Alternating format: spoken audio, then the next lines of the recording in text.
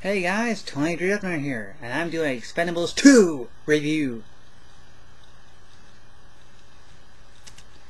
Anyway, my Expendables 2 review. Stop doing that. Anyway, I saw Expendables 2 last Wednesday, so sorry the review's a little late. I didn't see it. I didn't make this right after the movie because I was busy. But anyway, let's get back to the point. Expendables 2 is an awesome movie. I saw it with friends. It was awesome. So awesome the entire cast is back along with Arnold Schwarzenegger and Bruce Willis, who were, yes, in the first film, but their roles were short. They're in this movie, and I will say this is not a spoiler, they actually do stuff in this movie. It's not early in the movie, but they do do stuff. Also, Chuck Norris is in this movie, and I've always been that kind of person that likes Chuck Norris, but also dislikes Chuck Norris, because when he stopped being an action star, it does both like his commercials. I felt like Chuck Norris was like, eh, and he wasn't as popular as he was since he wasn't active. But let me just say this: if you're a Chuck Norris fan, there's something in there for you. Okay, you know what I'm talking about. You've seen Expendables 2, it's awesome. He makes a reference. It's cool. I love it. It made me like Chuck Norris again. I still think Bruce Lee's better, but whatever. but um, yeah, Van Damme is also in this movie, and um, not really a spoiler alert. If you don't know who the villain is, you're going to be surprised by like, whoa, that's the villain. They also have uh, some new guy. Uh, I don't know his name at the moment because he's the new guy in the recruit anyway, the new kid. Um, so yeah. Um, if you've seen Expendables 1 and the first like action scene, this Expendables 2 is awesome. It's awesome. It's just like explosions, shooting. It's it's intense. The entire movie is intense, and like it's kind of overly ridiculous intense, but not so ridiculous you don't want to watch it. It's sort of kind of funny and ridiculous. Like there's this one scene, which is this is not a spoiler. It's not something. They're helping these people. Yeah, yeah, yeah. Whatever they, you know.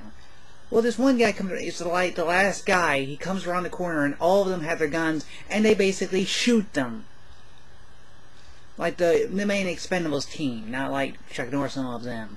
But there's like five, six guys. They all shoot him, or at least maybe four. They all shoot him with their guns, and he's like, like more or less he should probably explode. But it's like what?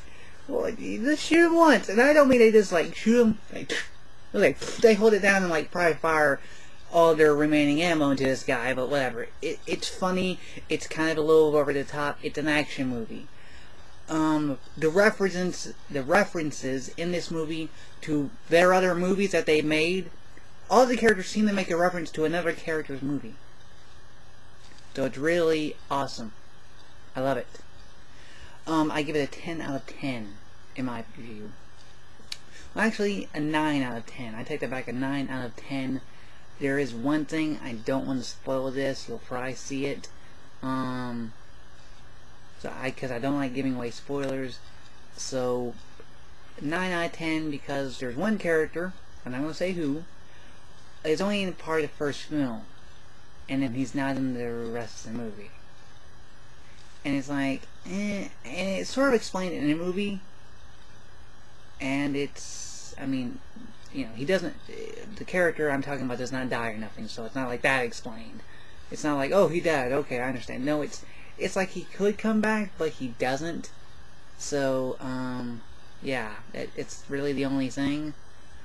But beyond that, it's a really good movie, and that's the only downside is that this character, who, he is a major character. He's not like some minor guy that walks in for two seconds and leaves. He's a major character. Um, so yeah. Um, including also if you have not seen the first movie, you can go ahead and just watch the second one. There's only like one scene which talks about what happened in the first movie, and that's it. You don't really, you know, you really don't need to see the second one. The first one, I mean, to see the second one. It's not one of those. They don't go back to the same place. They don't find the same bad guy. So it's entirely new story. You don't need to worry about that. So it's good. I'm just saying, I didn't see the first one until like the day before, or not the day before, the weekend before, Saturday and Sunday, one of those two days I watched The Expendables 1 with my friend Andrew, who also went to go see the Expendables 2 with me. We saw that movie on Netflix. They're like, hey, you want to watch the first one? like, sure. So, yeah, that was pretty cool. And, uh, yeah, the movie was awesome. movie was extremely good. It was awesome. I liked it. And, um, I recommend it. So I know this is a little bit late. I'm sorry for that. But, hey, if you want to see Expendables 2, I totally recommend it. 9 out of 10 only because of that one thing which I think is the issue, which I don't I think they shouldn't have done. But whatever. Yo, if you, I mean, it's not a big deal, but it's just like, really, come on, come on, come on, you know, come on. But anyway, uh, I hope you all go see the movie. I hope you enjoy it. It is, it's a violent action movie. If you're not into that, okay. But the story isn't ridiculous. The story makes sense. All the characters, Sylvester Stallone, all the characters from the first one are in it. Um, and yeah, it's awesome. Um, along with Chuck Norris, like I said, he and Van Damme, they're the new characters in this movie. Um, they're good. Um, all of them are good.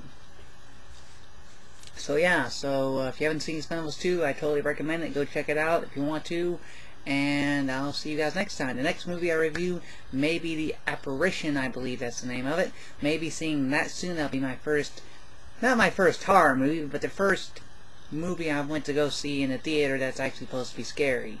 Because, yeah, it's really the only horror movie I've ever seen in theaters. Man, I think it's listed in horror, but whatever. It's a ghost movie that's like rated R, so it's a horror, but whatever. So yeah, there's that. So that'll be the first movie I've seen like that. Hopefully I'll be seeing it with a friend soon, but when I see it, I'll do a review on it. So catch you guys later, and thank you. Tony Deathnumber out. Maggots! Ah, ha, ha, ha, ah explosions! Ah! Yeah.